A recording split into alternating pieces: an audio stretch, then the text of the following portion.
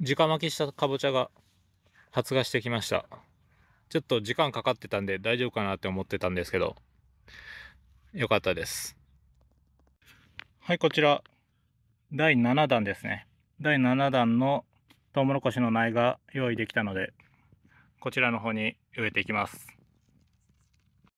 第7弾のトウモロコシを植えました。で水をやってトンネルの弓も張ったので今日も寒くなりそうですが大丈夫だと思います、えー、この間こっち側の列の枝を切り落としたんですけども今日はこっち側の反対側枝を落としていきます。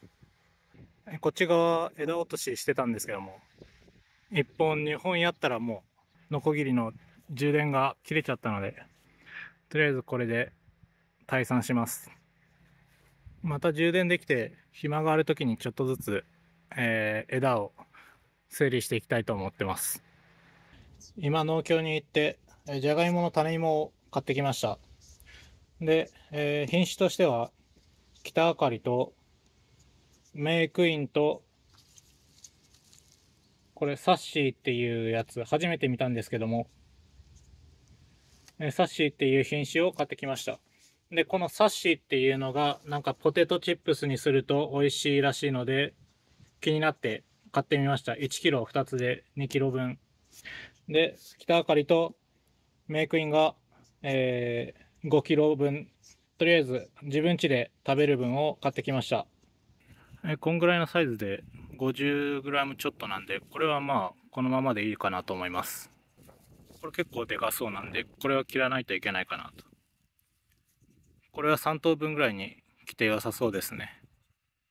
まあこんな感じで3品種カットしていきます。えこちらえメイクインのメイクインの種芋の箱開けたらもう目がもう すごい伸びてますね。あ、折れちゃってますけど。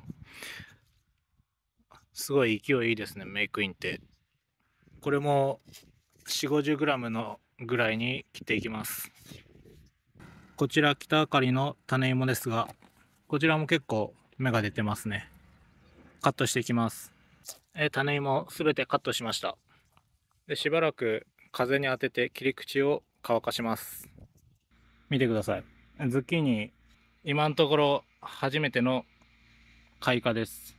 まあこれ、雄花なんですけども、まあ、まだ雌花は、まあここについてるやつで、まだ花は咲かないんですけど、雄花が咲きました。これから、結構ハウスだともう結構暑いんで、ガンガン咲いてくると思われます。ズッキーニ雌花の方も、えー、花が咲き始めたんですけども、最初の方は、あの、木の方を大きくしたいので、これは摘み取っておきます。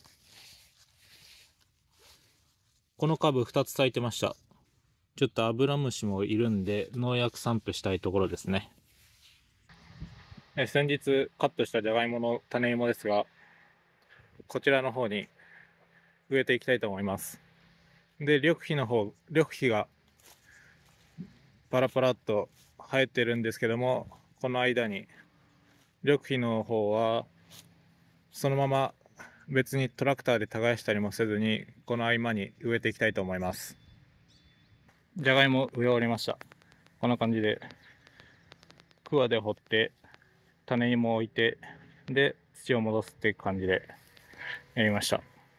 で、ここの、ここの空間も梅が結構張り出してきてるんで、ここも切りたいところですね。光が当たらないとやっぱり芋も太らないんで。